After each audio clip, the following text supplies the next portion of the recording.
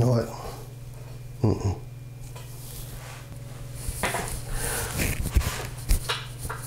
Yeah, much better. Hey guys, this is Kevin from Today's Technical Connect, and sorry I haven't been here for a while. I've been getting my uh, my YouTube environment ready to go, my man cave slash YouTube studio. So it's taking me a little while to get some content out. But now that I'm back, we're gonna get into something really cool. We're gonna compare the brand new Apple AirPods or the Apple AirPod 2s with a better, cheaper version, well, with a cheaper alternative that a lot of you guys might like, the Zolo Liberty Truly Wireless earbuds. Coming up on TTC.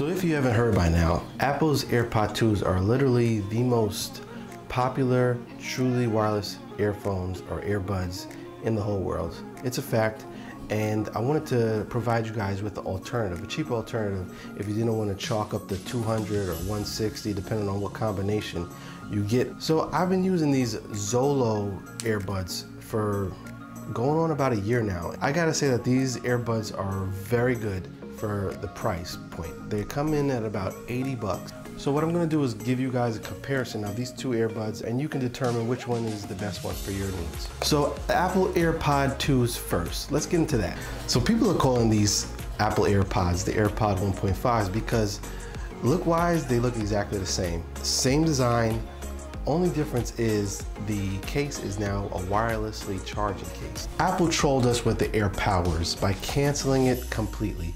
They even had the AirPods on the actual box with these new earbuds. And all of a sudden news broke that that they canceled it because the AirPower wasn't living up to their expectations. So they just ditched the whole project.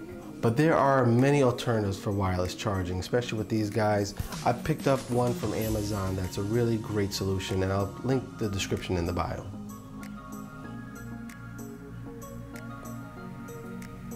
Sound wise on these guys, the bass is very punchy. The mids and the highs are adequate for what they are. You know, if you had any type of Apple AirPods, they pretty much all sound the same. Uh, you know, the sound quality is good. On the actual AirPod, there's an onboard accelerometer that, that can detect when you take the AirPod in or out of your ear. And when you take it out, it'll actually pause your music automatically. When you put it back in, it'll resume play, the playback, which is pretty cool. There's now a new LED on the front of the case, which determines what state of power you're, you're using on these cases. So orange means that the case is charging, green means that the charge is full, and white means that it's in pairing mode. They also stayed with the lightning charger, so I guess we won't be getting USB-C on the new iPhone that comes out next year. Apple also updated the chip that these guys are rocking. It used to be the W1, but now they are the brand new H1 chip, which Apple is boasting a lower latency for gaming and syncing capabilities. I can tell you that they are faster and that the microphone is way better quality.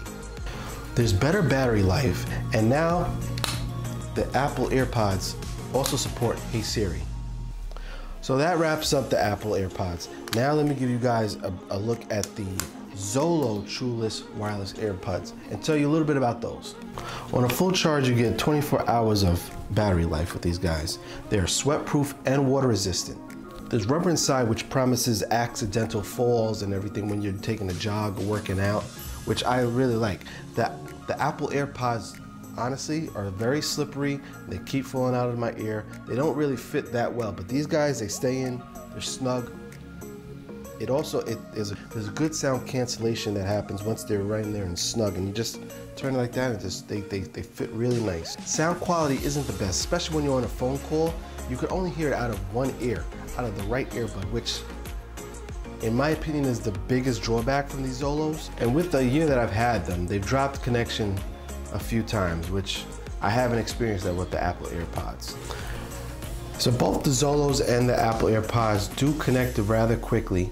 And with the H1 chip in the Apple AirPods, they connect even faster than the Zolos if you're using an iPhone.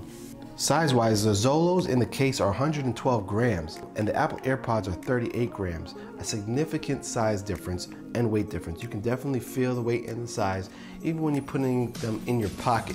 The Zolo does stick out quite a bit, but, when you put the earbuds in your pocket, you can barely even notice that they're there, which I love. I love the minimalistic design.